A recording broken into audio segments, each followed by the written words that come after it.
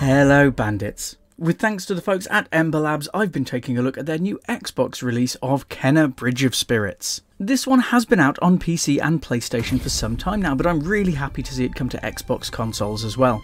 Players will take the role of Kena, a young spirit guide tasked with the responsibility of guiding troubled spirits to the next world. You'll range through various different locations surrounding a forgotten village, followed by your trusted companions, the Rot. These adorable creatures wear many hats, but will help Kena to interact with the environment as well as provide healing and additional powers in combat. On her path to discover the sacred mountain shrine, Kena will also use the rot to clear corruption and bring life back to the forest and help spirits move on from the material plane. Combat itself is pretty typical for an action adventure with light, heavy and ranged attacks, blocks and parries, and enemies ranging from small to gargantuan.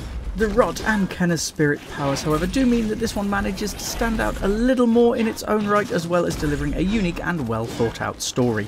Kena Bridge of Spirits is rated by PEGI at 12 and above and by the ESRB as T for teen. It is a relatively low rating here and it's one which is based mostly around combat. With the fantastical nature of the enemies and powers, it's not something of particular concern, and I have been happy for the micro bandits to watch me playing Kena's small and large fights. With the nature of Kena's role as a spirit guide, there are considerations here for upsetting content, but overall I am rating it as mostly harmless.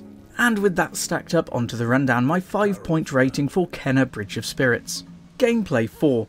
There are some really solid action adventure mechanics in here, augmented a little by new spirit powers. However, combat and platforming will feel very familiar to action adventure fans, and while that's not necessarily a bad thing, it does mean that things can feel a little samey pretty quickly. Visuals 5. Kena Bridge of Spirits is one of the most beautiful games I have played. Visuals here on Xbox Series X have been flawless, and the game also provides a solid photo mode as well to help players capture their adventure. Overall, in terms of visuals, Kena delivers the kind of graphics that I could only have dreamed about for years, and it is a gorgeous sight. Audio 5. Audio is another strong showing, and whether it's effects or voice acting, things are very strong here. It is helped along by a decent script, but the audio is a good show all round, including great music to complement combat and platforming.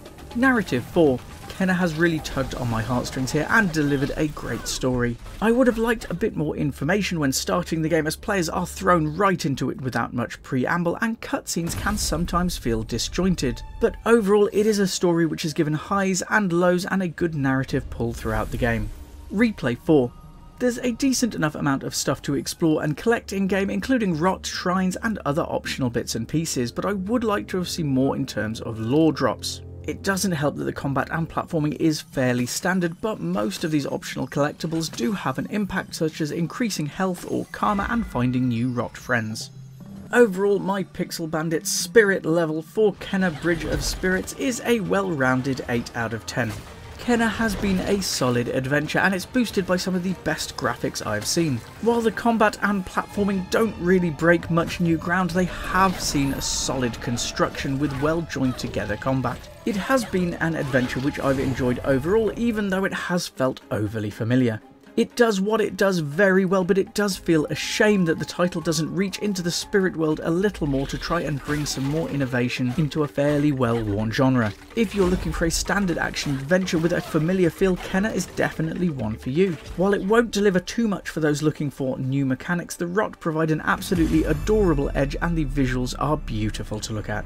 As ever, to provide my review and common sense parents guide, I received a free copy of Kena Bridge of Spirits from the folks at Ember Lab.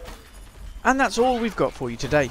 Check out the extended review at pixelbandits.org for more information on this one. If you found this helpful, a like, comment, share or follow might not cost you anything, but it really goes a long way to helping Pixel Bandits remain ad-free and independent.